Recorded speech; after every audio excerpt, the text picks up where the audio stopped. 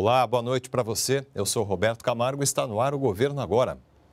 Depois de exatos 20 anos do início das tratativas, Mercosul e União Europeia fecharam hoje um acordo histórico de livre comércio.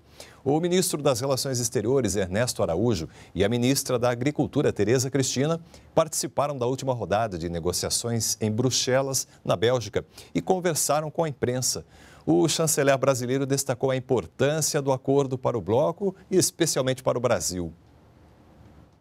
É um acordo estratégico de que é uma iniciativa que é, vai tra se traduzir é, num impacto extremamente positivo em toda a economia brasileira. Né? Vai é, criar mercados para praticamente todos os setores da economia, vai aumentar a, a competitividade, vai reduzir custos através da, é, de investimentos, novos investimentos, acesso a, a insumos com, em, em condições mais, mais favoráveis. E de Curitiba, no Paraná, o presidente em exercício Hamilton Mourão também comemorou o fechamento do acordo. É algo que se buscava há 20 anos, né?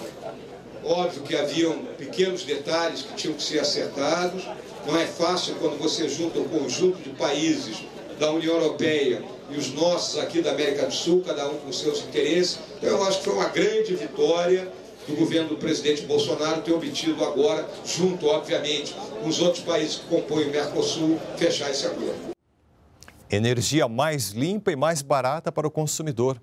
No leilão organizado pela Agência Nacional de Energia Elétrica, a ANEL, foram contratados mais de 400 megawatts gerados a partir de fontes limpas.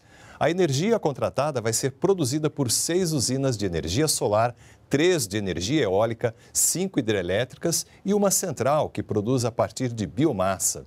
Os contratados devem investir quase 2 bilhões de reais nas usinas geradoras e o investimento deve gerar 4.500 empregos.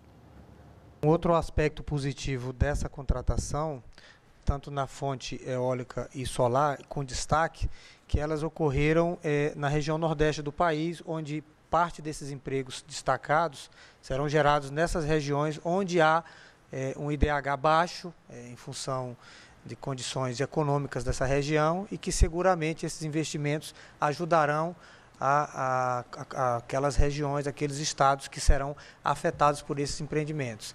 Destacadamente o estado do Ceará, Rio Grande do Norte, Piauí e região norte do estado de Minas.